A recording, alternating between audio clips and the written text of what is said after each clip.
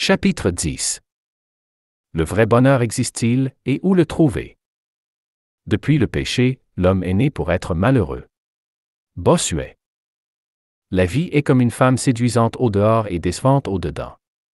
Dans l'existence, les choses vont rarement bien, plus de deux semaines d'affilée, alors si nous semons trop d'attentes, nous risquons de moissonner beaucoup de déception ou de frustration, de confusion, d'amertume et de désolation.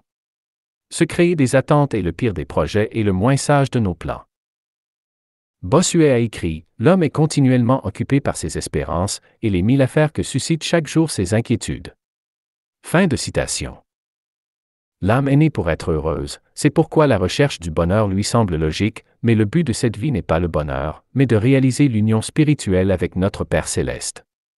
Celui qui a l'âme unie au Seigneur trouve déjà, dans une certaine mesure, le bonheur sans même l'avoir cherché. La plénitude du bonheur nous sera ensuite donnée à la résurrection. L'humanité revendique un monde sans douleur, et l'enfant, par nature, croit au bonheur l'humain suppose naïvement dès sa jeunesse que la vie entière est faite pour le rendre heureux. L'adolescent calcule très peu d'imprévus, sinon aucun. Il prend pour acquis que la vie lui doit de bons parents, une enfance heureuse, un foyer uni, un emploi agréable et bien rémunéré, une future épouse parfaite, une bonne santé et une mort douce. Le jeune croit ne pas devoir éprouver de déception ou de frustration d'aucune sorte.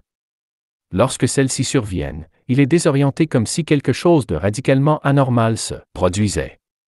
Alors lorsqu'il réalise que ses rêves ne s'accomplissent pas comme prévu, il a l'impression que la vie lui a outrageusement menti et qu'elle lui a vicieusement volé des droits acquis. Il a le sentiment amer d'avoir été l'objet d'une affreuse injustice. C'est alors que le pire est quelquefois à craindre. L'homme qui ne comprend pas son malheur peut devenir un tueur fou sur un toit. Faute de préparation à la vie, beaucoup de jeunes sont ainsi profondément déçus de l'existence avant même d'avoir atteint l'adolescence. Ils deviennent souvent rebelles contre tout et contre tous. Désillusionnés de la vie, ils se laissent sombrer dans les formes de suicide lent, telles la drogue, l'alcool, les vices ou la délinquance. Il ne sait plus qui punir, alors il punit tout le monde, et il se punit lui-même.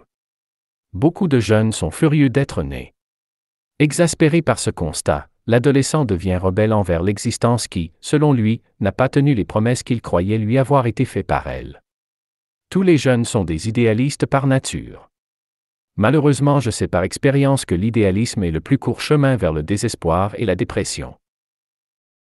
Nous ne sommes pas venus sur Terre pour trouver le bonheur, mais pour être sanctifiés, brûlés, taillés et émondés. La sanctification est une mise à part, une mise au large de tout ce qui est répugnant à la nature sainte de Dieu.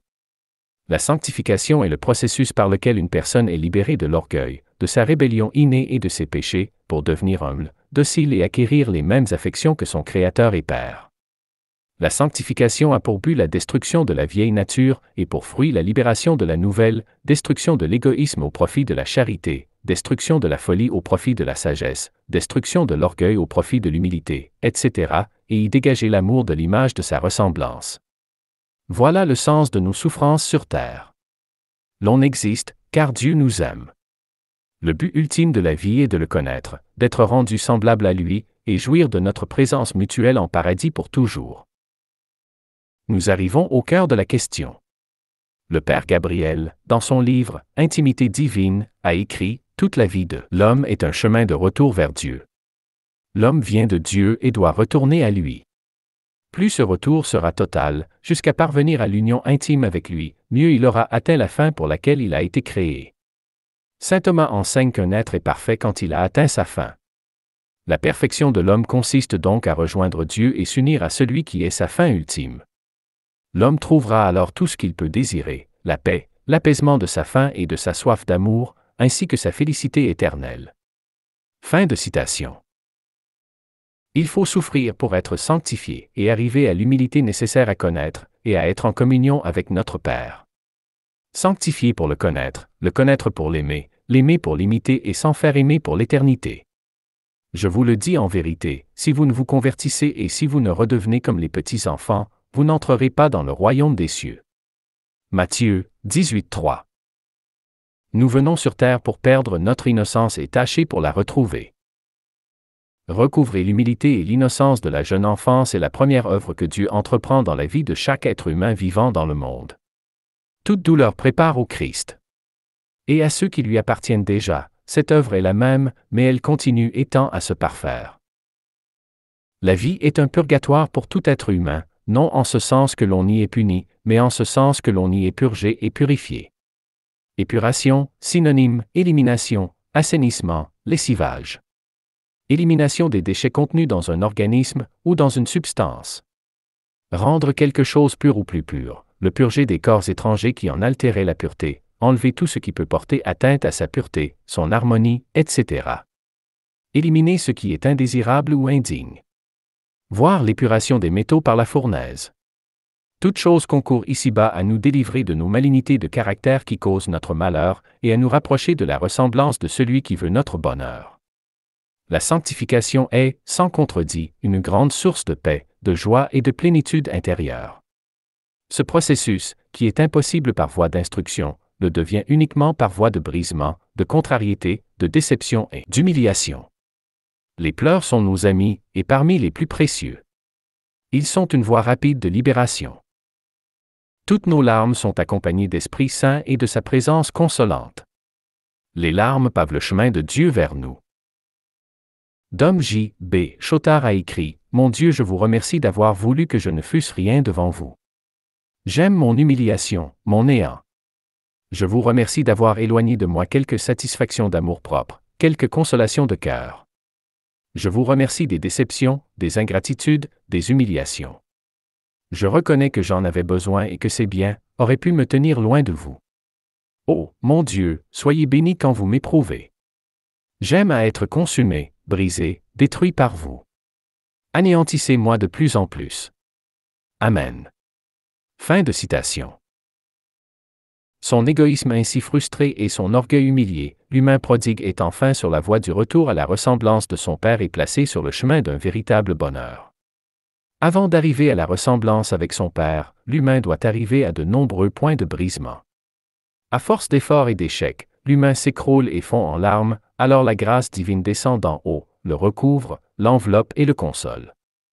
Les larmes servent de lentilles pour mieux voir les choses du ciel. Les échecs ne sont pas des pertes, mais des acquisitions d'humilité. Et avec plus d'humilité, la vie devient plus facile dans tous les domaines. L'humain est orgueilleux dès l'âge de raison. Orgueilleux se dit d'une personne qui est inspirée par l'orgueil.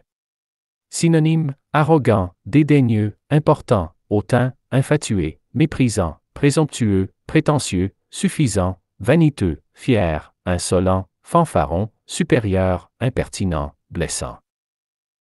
L'homme est induit en erreur par des suggestions d'esprit mauvais, dès sa jeunesse, il a été profondément désinformé à propos des intentions réelles de son Créateur. Et à défaut de comprendre le sens de sa vie, l'homme est la proie de toutes les hérésies.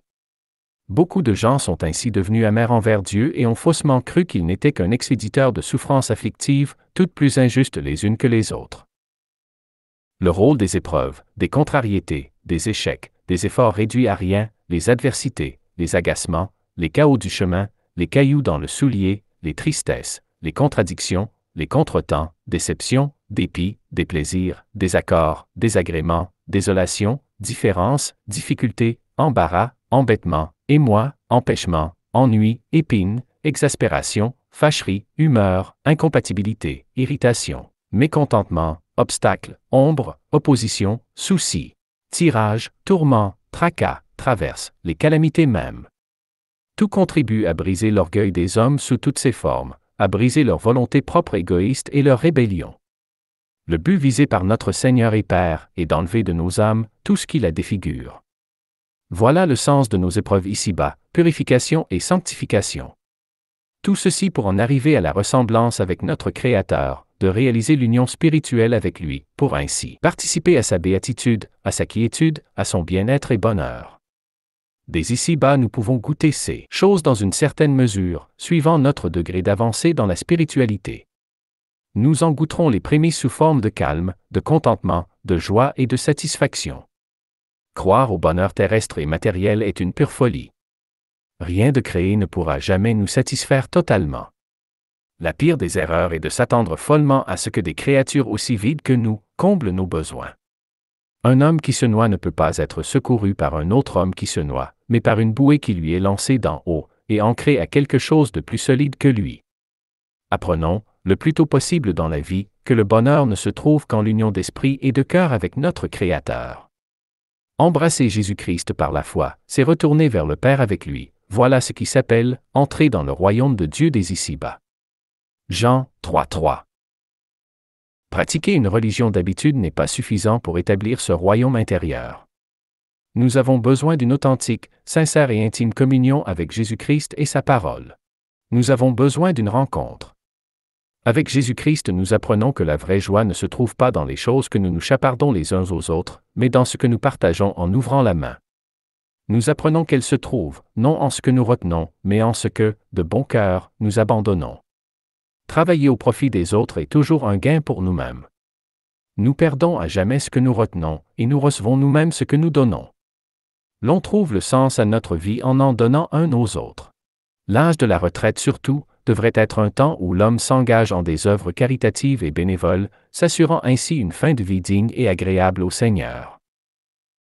Faites-vous des amis avec les richesses d'ici-bas, pour qu'ils vous reçoivent dans les tabernacles éternels.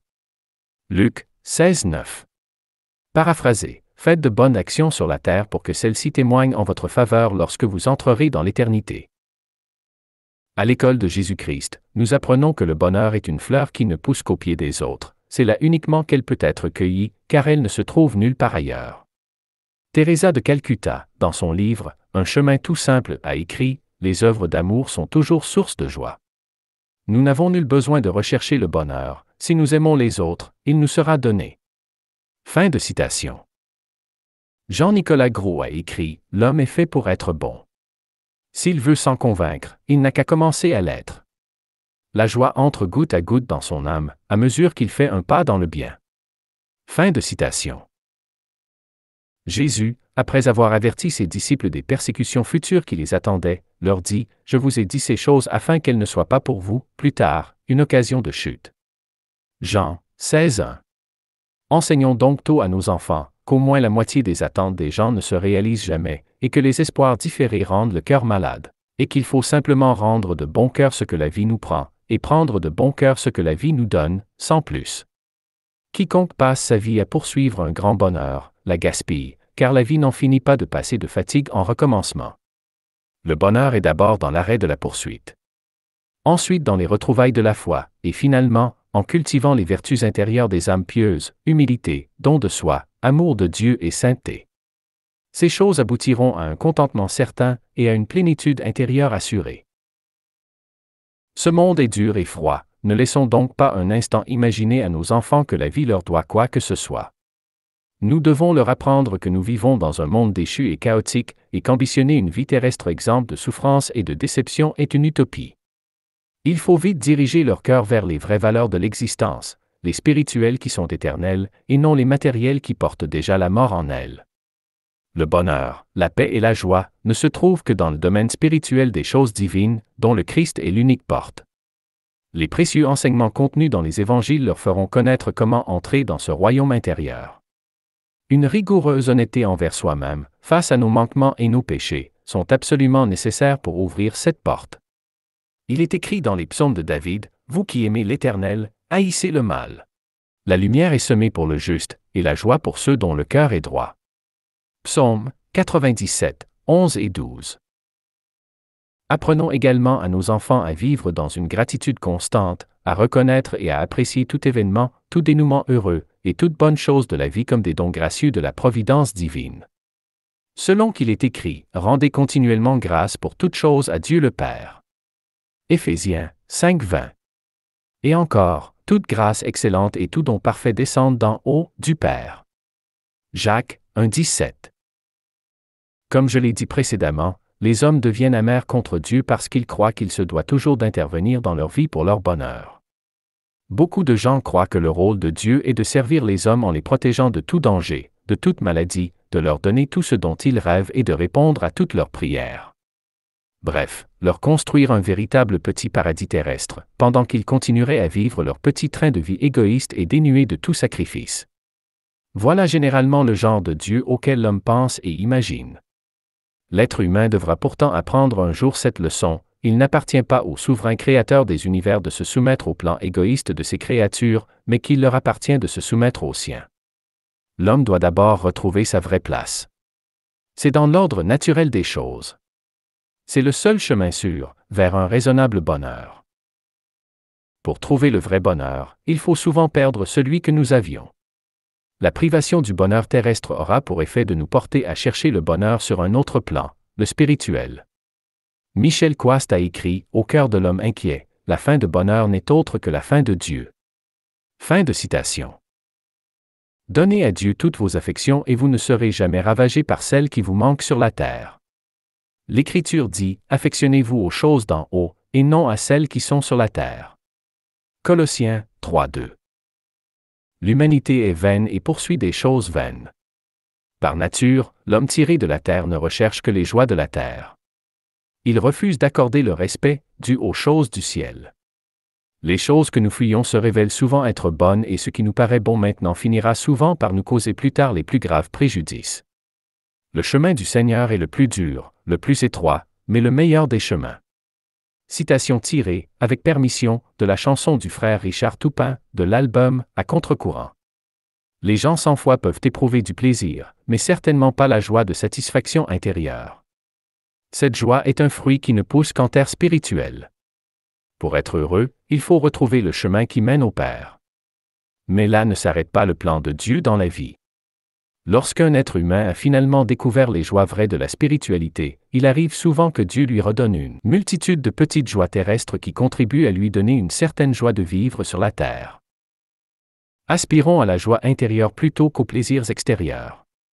Ces derniers sont superficiels, trompeurs et passagers, mais la joie spirituelle est intérieure, profonde, vraie et durable. Les plaisirs de la terre viennent majoritairement des péchés passagers, mais la joie réelle tire sa sève des vertus de cœur, simples, humbles, qui tirent leurs racines de l'éternité même. Bossuet a écrit, Poursuivant le plaisir, l'âme perd la raison. La raison, en effet, n'est jamais si faible que lorsque le plaisir domine. Fin de citation. L'âme humaine séparée de Dieu est toujours tourmentée. C'est pourquoi elle cherche sans cesse de quoi s'étourdir, mais ce faisant, elle devient pour elle-même son propre supplice. Les plaisirs naissent et meurent plus rapidement que les pissenlits, mais la joie demeure toujours dans le cœur de celui qui vit en harmonie avec les valeurs divines. Il est imperturbable face au vent, impassible devant les vagues et indifférent face aux contrariétés. Il se rit des échecs, il se soumet à la volonté divine et se fait simplement d'autres plans. Sa vie est-elle chamboulée par quelque événement fâcheux, il demeure tempérant. Blaise Pascal a écrit Il y a plaisir à être dans un vaisseau battu de l'orage, lorsqu'on est assuré qu'il ne périra point. Fin de citation. L'indépendance de l'homme à l'égard des bienfaisants commandements de Dieu est presque toujours la cause de ses souffrances. Or, un être n'est heureux que lorsqu'il a ce pourquoi sa nature est faite. Or l'homme est fait pour aimer Dieu, le servir, et en être aimé. Notre vie entière sera ensuite remplie de toutes sortes de plaisirs petits, simples, mais nombreux. Ne vivons donc plus dans l'ignorance de Jésus-Christ et de son œuvre. Faisons de son évangile le pain quotidien de nos âmes. Allons à l'école de ses pieds. Marchons dans ses pas et revêtons les mêmes sentiments que lui, en toutes les circonstances de la vie. Prenons la décision de ne laisser le soleil se coucher sur aucun jour, sans avoir nourri notre âme par une parole d'évangile, et prononcer une courte prière du cœur. Notre vie spirituelle se trouvera vivifiée par ces simples exercices, et notre joie de vivre en sera décuplée.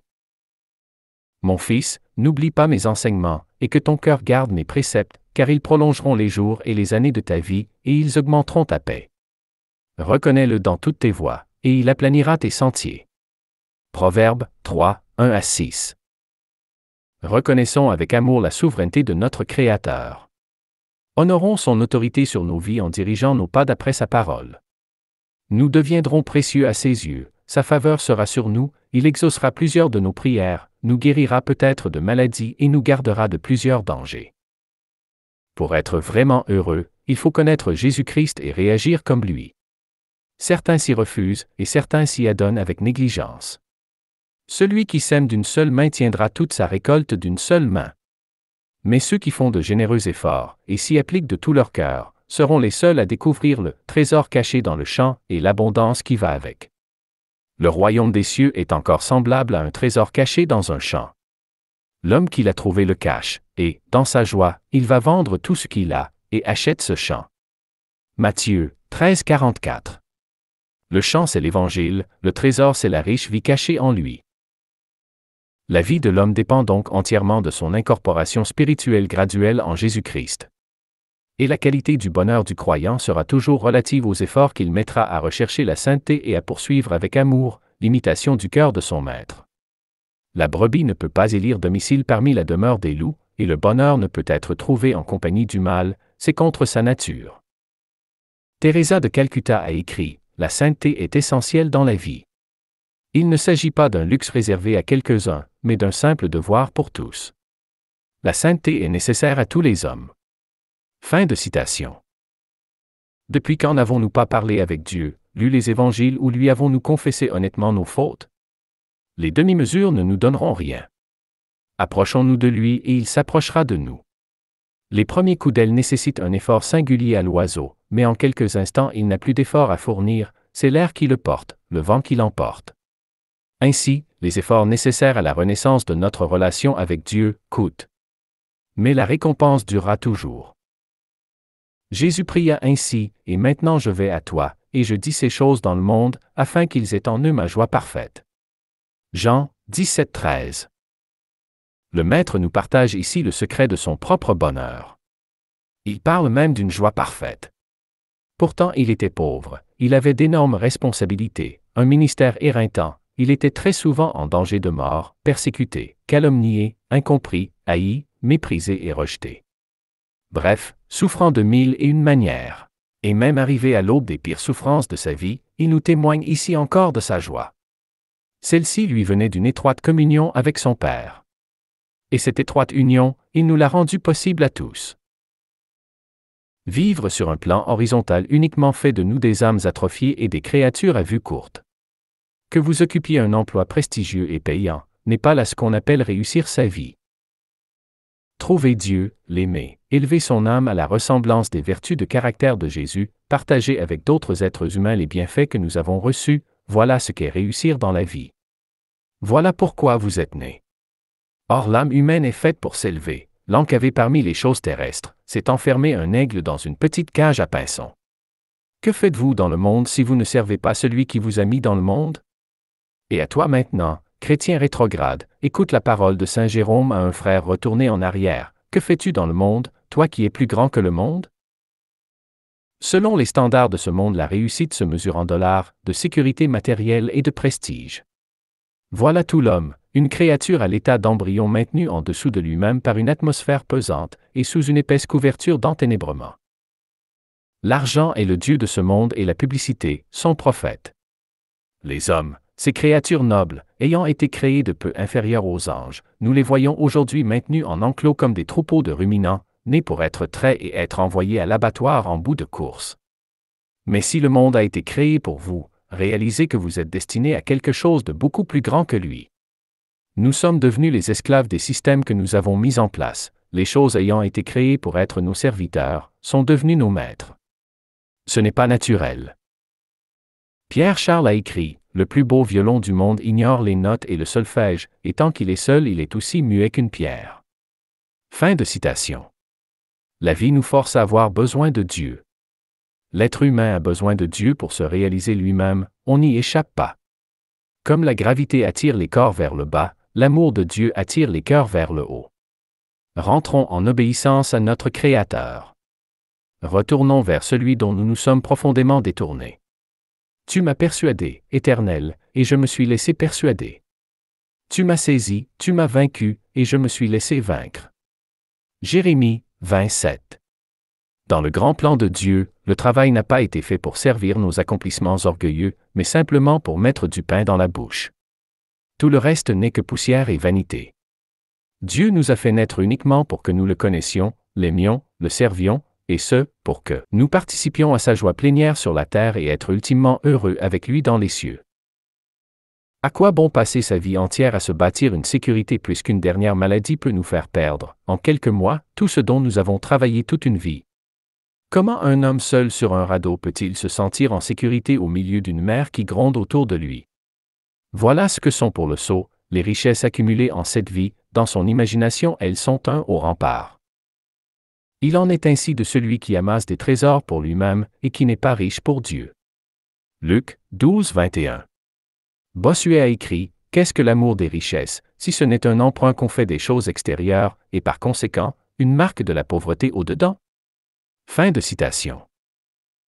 Un certain Guillaume, l'un des plus vaillants soldats que le duc Charles de Bourgogne eut dans son armée, servit le duc avec sa sueur et son sang pendant plus de soixante-dix ans.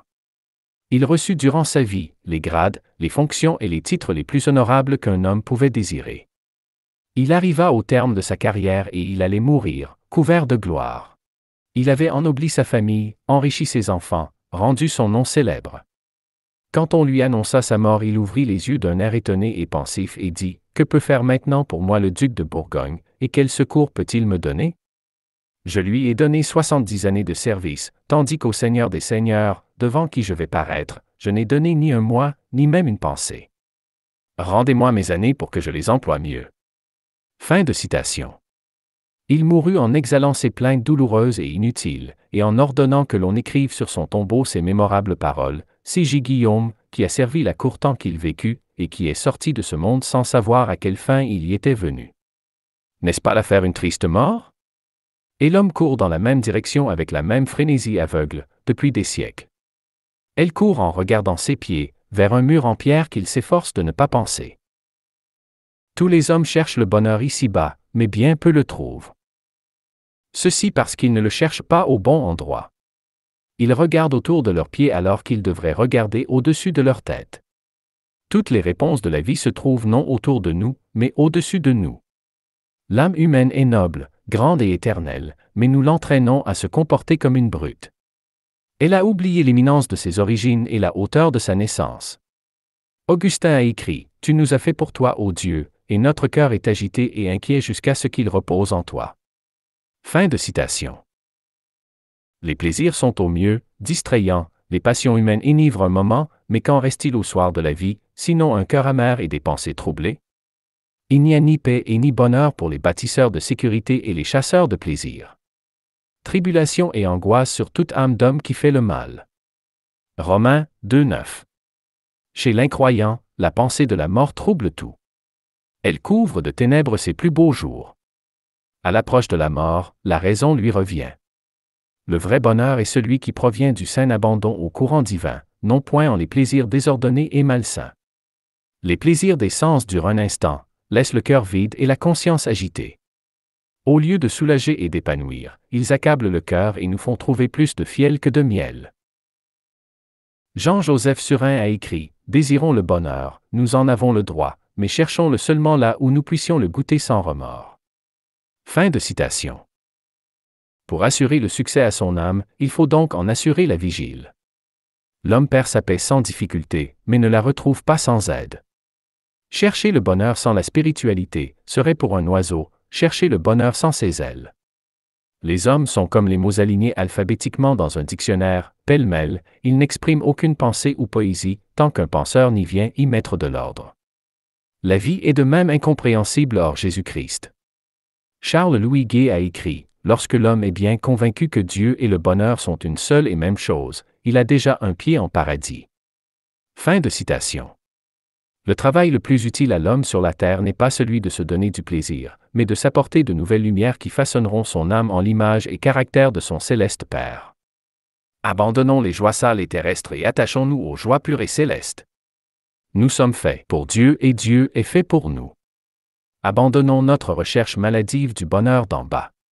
Recherchons, avant toute chose, celui qui vient d'en haut et l'autre nous sera donné avec abondance.